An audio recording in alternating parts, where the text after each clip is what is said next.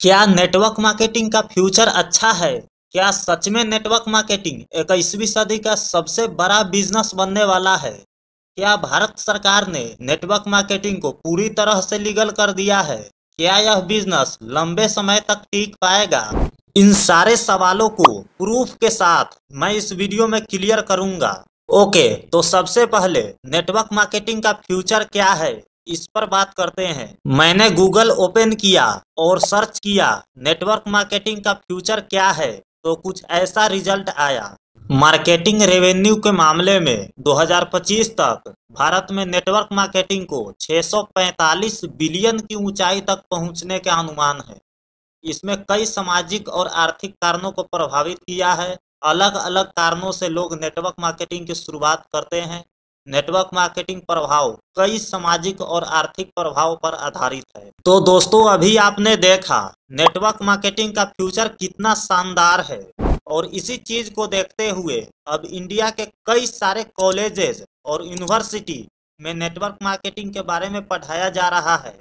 Hi friends so I am very excited मुझे आज एक एनवलप मिला है और काफ़ी लोग बोलते हैं क्या नेटवर्क मार्केटिंग में फ्यूचर बना सकते हैं डायरेक्ट सेलिंग इंडस्ट्री करना चाहिए कि नहीं।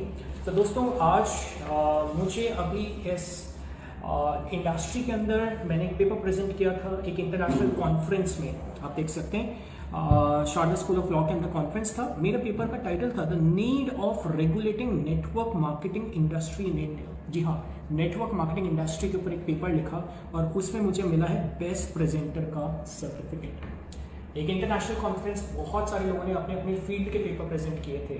मैंने नेटवर्क मार्केटिंग को चुना और उसमें मुझे बेस्ट प्रेजेंटर का अवार्ड मिला। तो दोस्तों, अगर पेपर के ऊपर प्रेजेंटर मिल सकता है तो इस इंडस्ट्री का फ्यूचर कैसा होगा आप सोच सकते हैं। सो ऑफकोर्स एक सही कंपनी का चुनाव करना बहुत ज़रूरी है। फ्यूचर बहुत अच्छा है।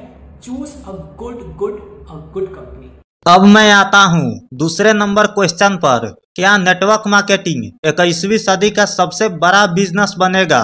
इसका जवाब है यस बिल्कुल बनेगा। आप गूगल पर जाएँगे और सर्च करेंगे इक्कीसवीं सदी का सबसे बड़ा बिज़नेस तो कुछ इस तरह का रिज़ल्ट आएगा। इक्कीसवीं सदी का सबसे बड़ा बिज़नेस नेटवर्क मार्केटिंग का फ्यूचर भारत सरकार के संगठन, फिक्की और केपीएमजी के अनुसार। सन 2025 तक नेटवर्क मार्केटिंग का टर्नओवर लगभग 625 बिलियन यानी कि बासठ करोड़ तक पहुँच जाएगा। तो दोस्तों, इस रिपोर्ट को देखने के बाद यह कहा जा सकता है कि नेटवर्क मार्केटिंग वाकई में इक्कीसवीं सदी का सबसे बड़ा बिज़नेस बनेगा। अब तीन नंबर क्वेश्चन क्या भारत सरकार ने नेटवर्क मार्केटिंग को पूरी तरह से लीगल कर दिया है?